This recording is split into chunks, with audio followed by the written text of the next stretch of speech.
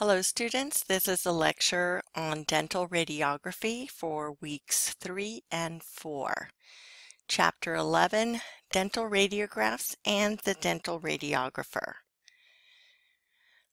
A dental radiograph, as you recall, is a photographic image produced on film by the passage of x-rays through teeth and supporting structures.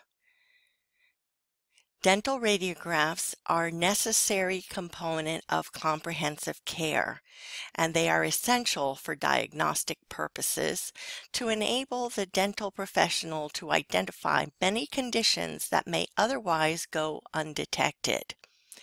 An oral exam limits the practitioner to a knowledge of what is seen clinically. Dental radiographs help to identify conditions that cannot be seen clinically. Dental radiographs are used for detection of disease, lesions, and conditions of the teeth and bones that cannot be seen clinically. It is, they are also used for confirming suspected diseases and assisting in the localization of lesions and foreign ob objects. Subsequent radiographs can be used for comparative purposes. Dental radiographs can minimize and prevent future problems. Therefore, the primary benefit is the detection of disease. The benefit of detecting disease far outweighs the risk of small doses of radiation. Information found on dental radiographs include missing teeth, extra teeth, impacted teeth, dental caries, periodontal disease, tooth abnormalities, retained roots, as well as cysts and tumors. A dental radiographer is any person who positions, exposes, and processes dental x-ray film. The dental radiographer can be a dental assistant or auxiliary, a dental hygienist, or a dentist. It is important that the dental radiography master the knowledge and skills of radiography in order to provide good quality care.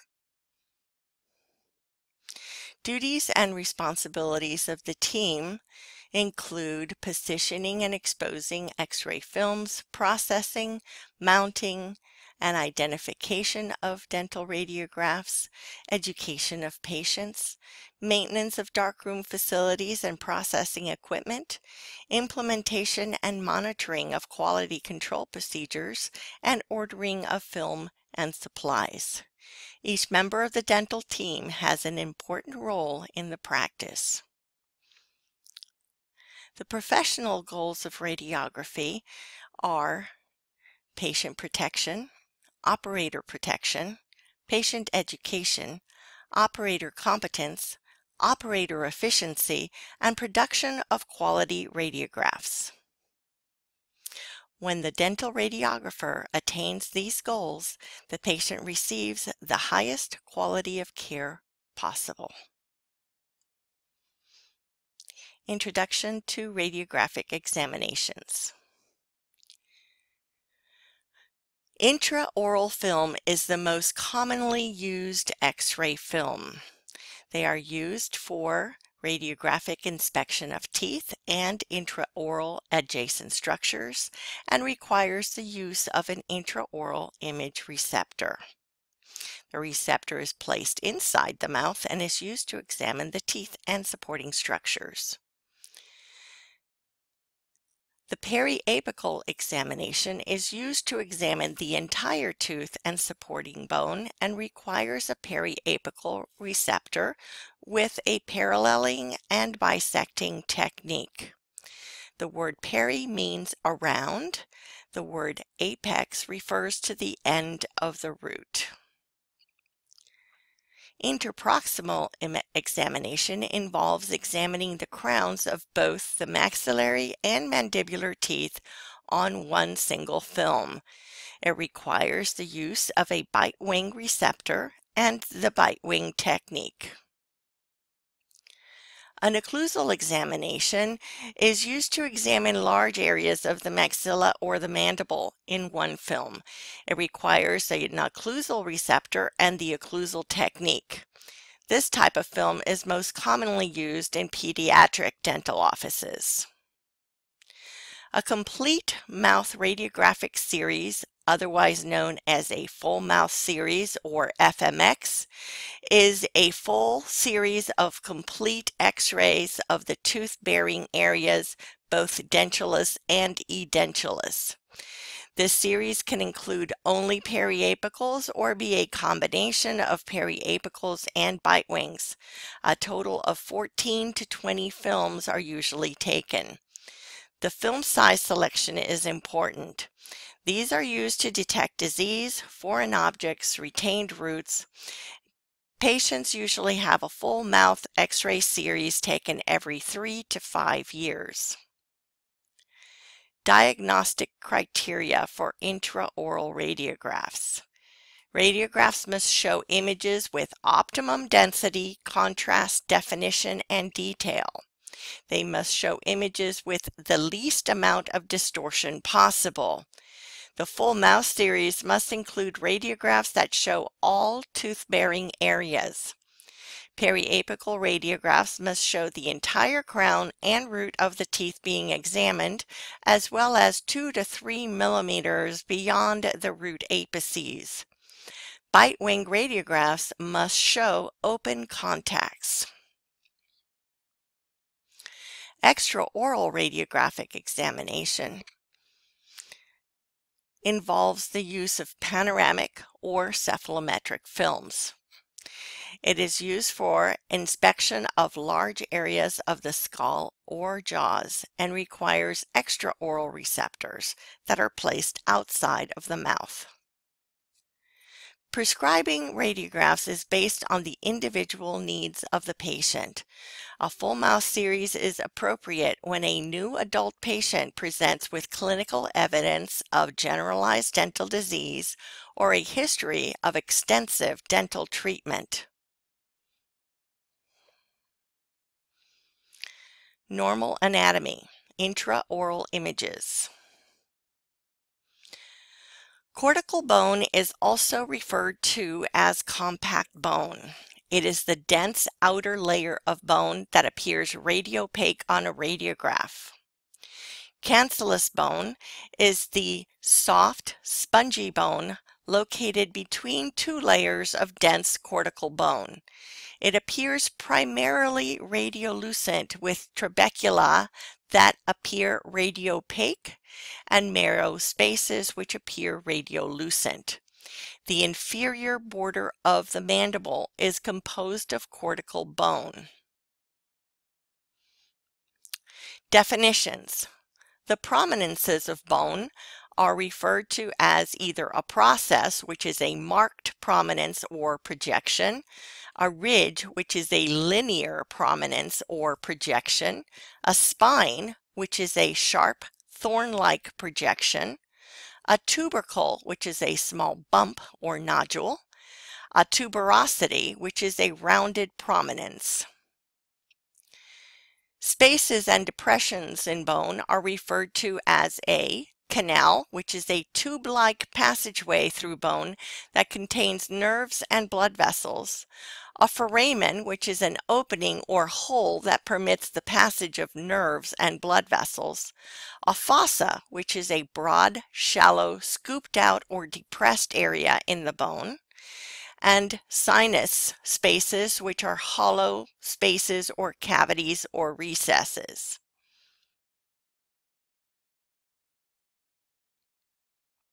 Miscellaneous terms are a septum, which is a bony wall or partition that divides two spaces or cavities, and the septa are radiopaque. A suture is an immovable joint representing a line of union between adjoining bones in the skull. These show up as a thin radiolucent line. A septum may be present within the space of a fossa or a sinus. Bony landmarks of the maxilla. The upper jaw is composed of two paired bones, the maxilla. The paired maxilla meet at the midline of the face. They form the floor of the orbit of the eye, the sides and floor of the nasal cavities, and the hard palate.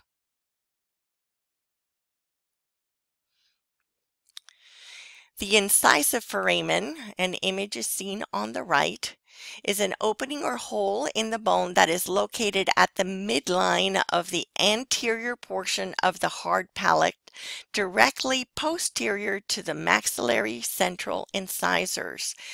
Radiographically, it appears as a small ovoid or round radiolucent area located between the roots of the maxillary central incisors. The nasopalatine nerve exits the maxilla through the incisive foramen. The term foramen refers to a hole. Median palatine suture.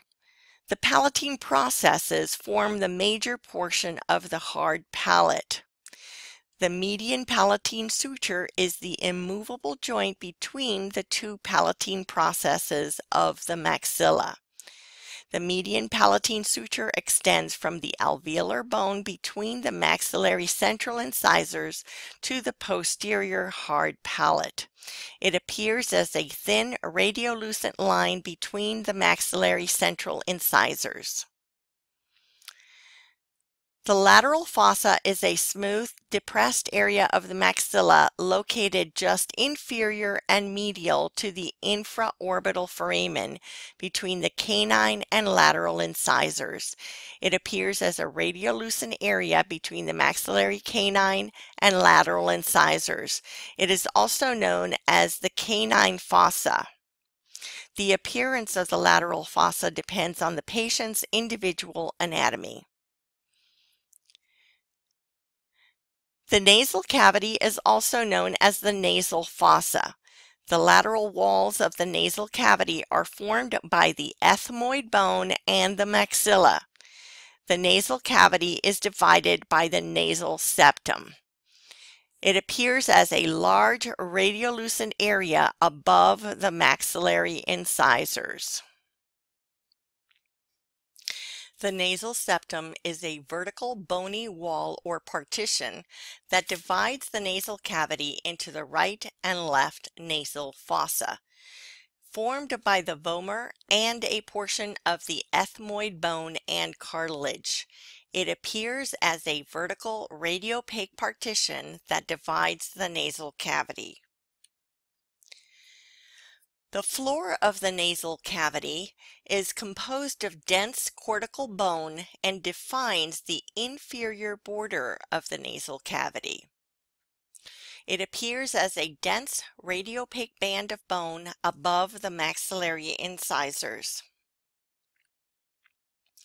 The anterior nasal spine is a sharp projection of the maxilla located at the anterior and inferior portion of the nasal cavity.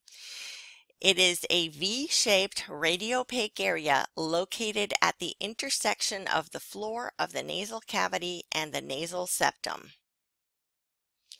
Inferior nasal concha this is a wafer-thin, curved plate of bone that extends from the lateral walls of the nasal cavity.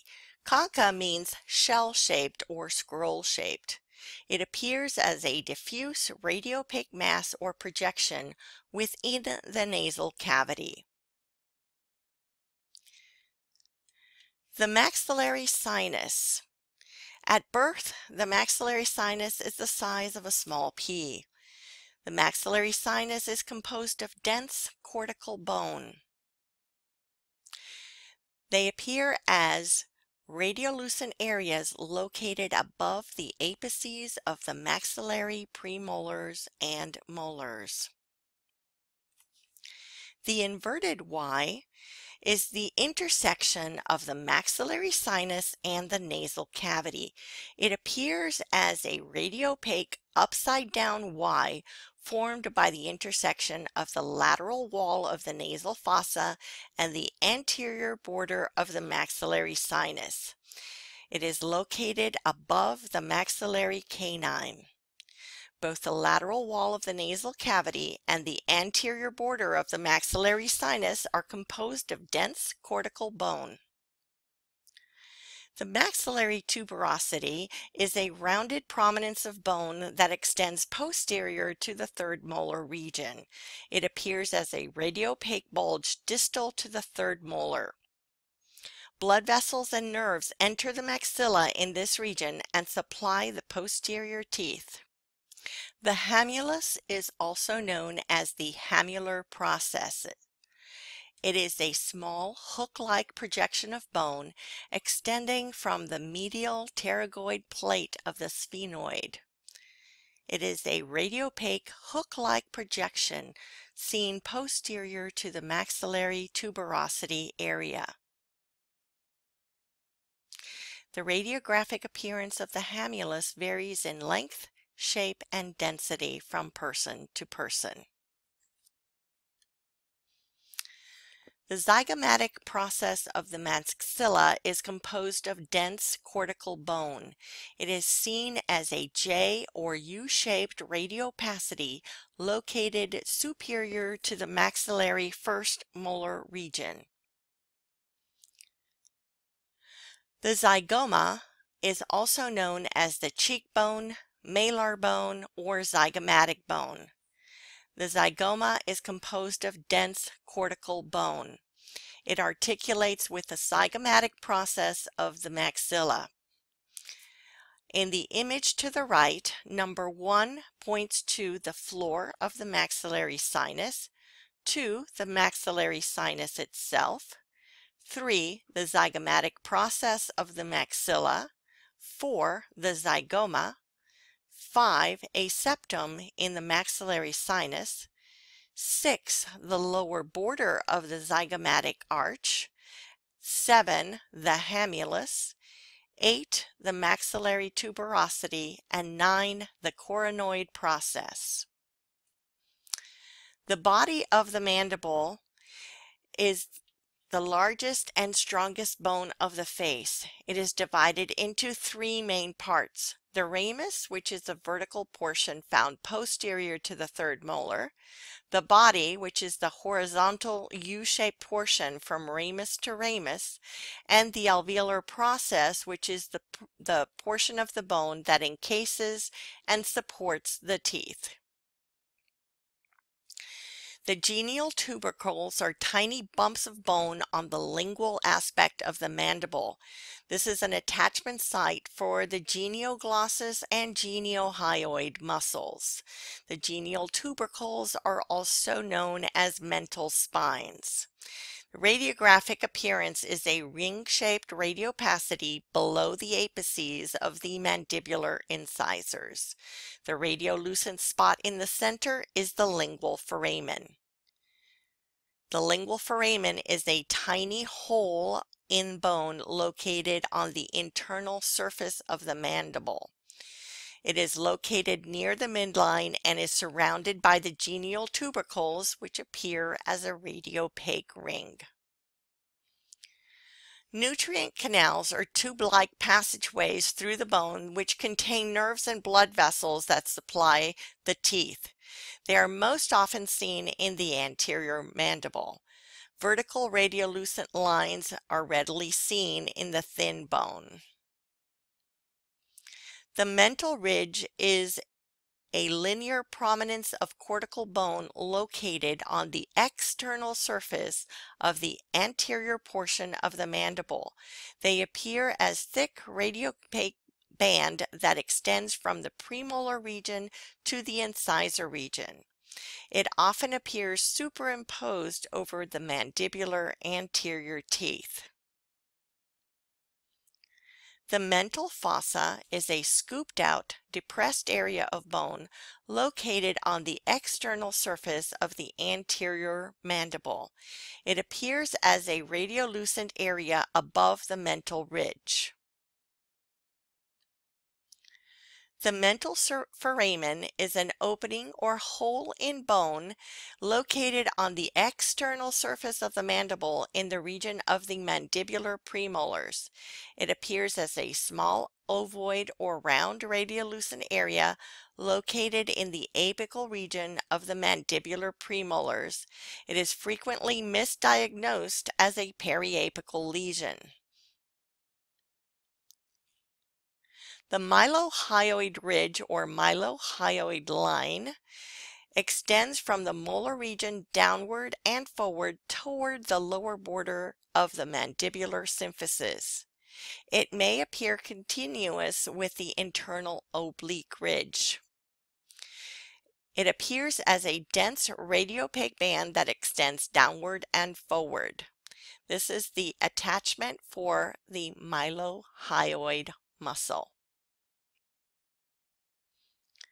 The mandibular canal is a tube-like passageway through the bone that travels the length of the mandible. It houses the inferior alveolar nerve and blood vessels. It appears as a radiolucent band outlined by two thin radiopaque lines that represent the cortical walls of the canal. The mandibular canal extends from the mandibular foramen to the mental foramen. The internal oblique ridge is also known as the internal oblique line.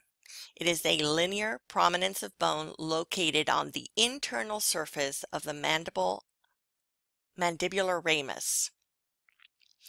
The appearance is a radiopaque band that extends downward and forward from the ramus. When both the external and internal oblique ridges appear, the external ridge is superior to the internal ridge. The external oblique ridge or external oblique line extends from the anterior border of the ramus and ends in the external oblique ridge. It typically ends in the mandibular third molar region. It appears as a radiopaque band extending downward and forward from the anterior border of the ramus of the mandible. The submandibular fossa is a scooped out, depressed area of bone located on the internal surface of the mandible inferior to the mylohyoid ridge. It appears radiolucent. The submandibular fossa is also known as the mandibular fossa or submaxillary fossa. The submandibular salivary gland is located in the submandibular fossa.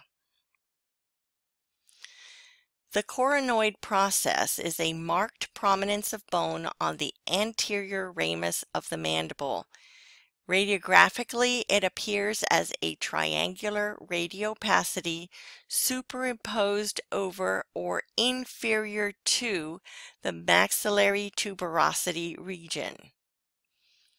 The coronoid process serves as an attachment site for one of the muscles of mastication. Tooth structure can also be seen in radiographs.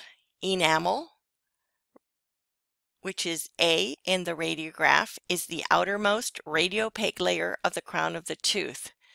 Dentin is labeled B in the radiograph and comprises most of the tooth structure. It is not as radiopaque as enamel. The dentino-enamel junction is labeled C in the image and it is the junction between the dentin and the enamel. The radiolucent area in the center of the tooth is the pulp cavity.